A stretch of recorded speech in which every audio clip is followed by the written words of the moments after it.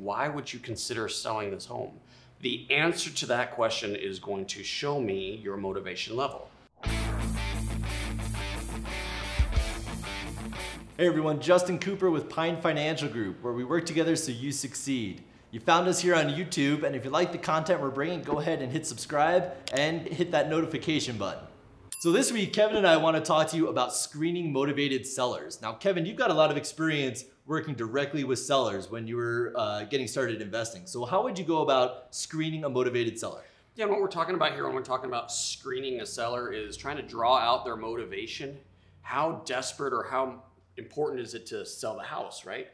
And then we're gonna be able to use that information to know if we want to set an appointment, go out and meet with them, and, and use our time to actually try to negotiate a deal. Okay, so the way we do this is through a script. Um, so maybe, Justin, the best way to do this is just to role play? Sounds good. Okay. So let's say I did some marketing out there, put some marketing out there. I'm getting ca- calls from sellers. Maybe someone went into my voicemail and I got a message and I'm gonna call call you back. So we're gonna go through that example here. Great. All right, so grab my phone, dial your phone number. It's ringing. Hello? Hi, can I speak to Justin? Oh, this is Justin. Oh, Justin. Hi, my name is Kevin. I was calling about your house for sale. Oh, yeah. Now, um, just curious, is, is this a good time? Yep, I've got a few minutes. Okay, fantastic. How did you get my phone number? Uh, I got a postcard in the mail. Oh, awesome. Okay. So you have a house for sale. Can you tell me maybe a little bit about the house?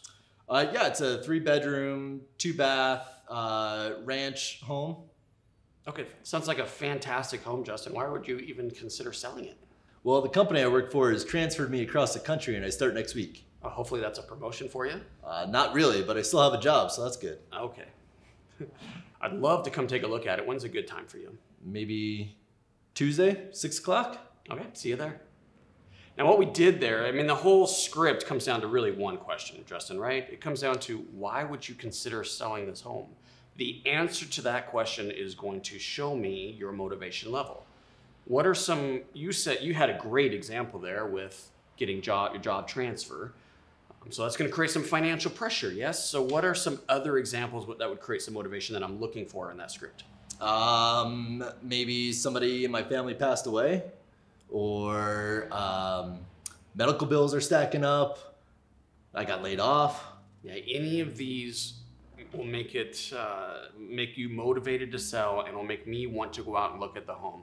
I am going to recommend that you go out to the property and then try to negotiate the deal on site and not over the phone, especially when you're getting started.